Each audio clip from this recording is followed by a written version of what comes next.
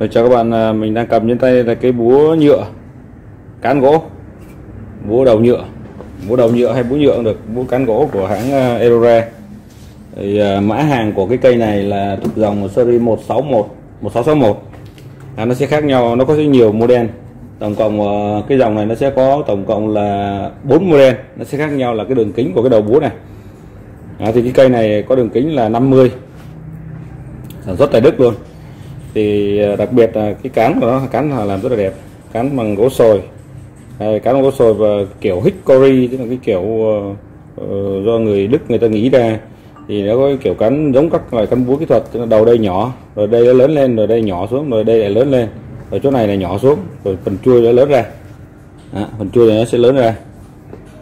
À, lớn ra để cho mình khi mình cầm mình cầm mà trong trường hợp mình đập với đập búa với biên độ già lớn lớn á biên độ biên độ lớn á thì mình sẽ cầm phần chuôi này nó sẽ không bị tuột ra. Ở đây người ta xử lý ờ, mối mọt rồi ép giấy hết tất cả các thứ rồi. Trong trường hợp mà bạn ờ, sử dụng ờ, đối với bạn gõ nhịp lớn ấy, tần số cao ấy, thì bạn sẽ cầm ở đây.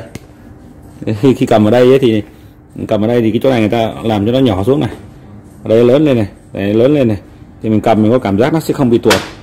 Nhưng khi bạn đập với, với tần số cao tần số cao và biên độ nhỏ thì mình sẽ cầm ở đây. Thì nó sẽ chắc chắn hơn búa này búa nhựa thì cái đầu của nó đầu này mình có thể thay thế được. Sau nhiều lần mình sử dụng mình có thể thay thế được cái đầu búa này.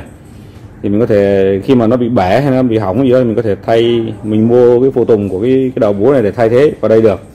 Thì búa cái đầu nhựa này nó làm bằng vật liệu ờ, gọi là polyurethane là một loại vật, liệu- vật liệu dẻo nhựa dẻo. Nhựa rất là đặc biệt. Thì nếu mà anh em làm trong ngành nhựa thì cái nhựa này có ký hiệu viết tắt nó là TPU Ờ, nhựa có khả năng chịu được va đập. Nhựa tổng hợp mà, nó khác với cao su. Cao su thì khác à, này nhựa. Đây nhựa rất là đặc biệt. Thì anh em nào có nghiên cứu thêm thì thì các anh em có thể google cái nhựa TPU hoặc là nhựa polyethylene ấy, thì là nó sẽ ra. Hoặc là cái tên gọi khác của cái loại nhựa này là Desnopan Desbopan. đó. thì mình không có nói nhiều về cái vấn đề đó thì anh em nghiên cứu thêm để về thì đặc biệt mình chỉ cần nhớ là cái loại, loại nhựa này là nó có khả năng chịu va đập. Chịu va đập để mình đập mình, mình búa mà búa dùng để, để đập thì nó nó phải chịu được cái đó. Thì cây búa này à, mã số của cái cây này đầu 50 là 166150 50 ha. Cái phần chỗ này là người ta mạ kém. Mà kém. À, khi mà kém nên là Ờ, và các bạn sử dụng một thời gian thì cái này nếu mà để nó bị ẩm thì cái mà cái phần mà kém nó sẽ bị nó bị reset. Đấy, như là khi anh em sử dụng mà muốn nó bền nó đẹp lâu thì anh em có thể bôi một đốt dầu lên trên đây cũng được. Rồi lên cái phần cái phần ờ, mạ này. Ở đây nó có một cái chốt. Cái chốt này để- để nó chống chống tuột. Chống tuột đầu búa nó đóng họ đóng sẵn ở đây cái này tiếng anh nó gọi là cola cái miếng cola tiếng việt mình chả gọi là cái gì, không biết gọi là cái gì. Những cái chốt để nó giữ cho cái đầu búa này không bị tuột ra được. Thì thay thế thì với mỗi một cái cán, với một loại xay búa 50 như này thì nó sẽ có một cái mã riêng cho cái đầu nhựa này. Thì anh em có thể sử dụng vì phần cán và phần đầu này nó ít hư, phần nhựa này đập tiếp xúc nhiều thì nó sẽ bị hư. Thì cái đầu này mỗi một cái mã nó sẽ có một cái đầu khác nhau.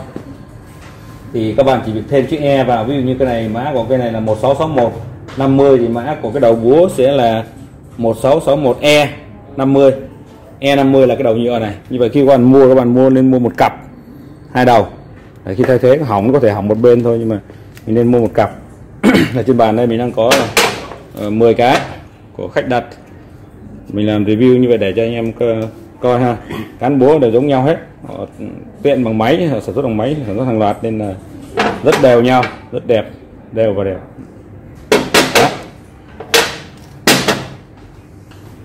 Ok. Giá tiền thì các bạn uh, coi trên video có mình có test ở trên ờ, trên trên video có giá. Mã hàng 1661 gạch 50 của hãng Erola sản xuất tại Đức luôn.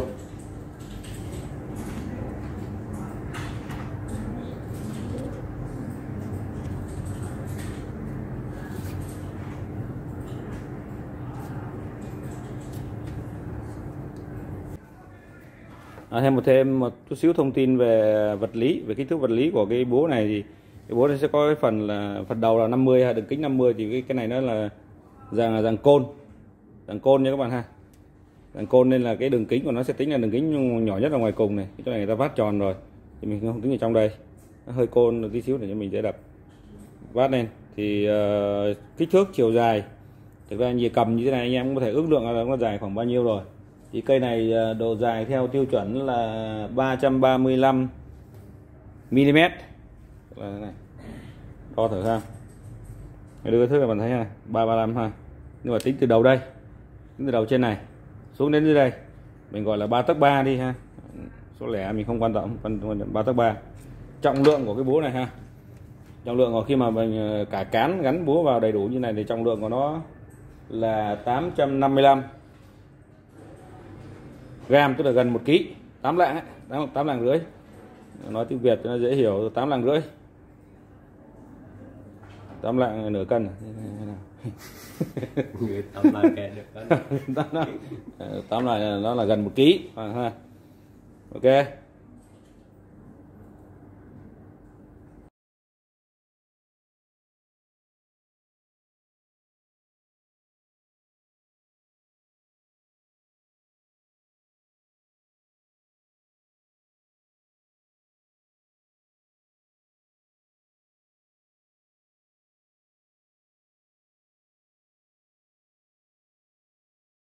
Mm-hmm.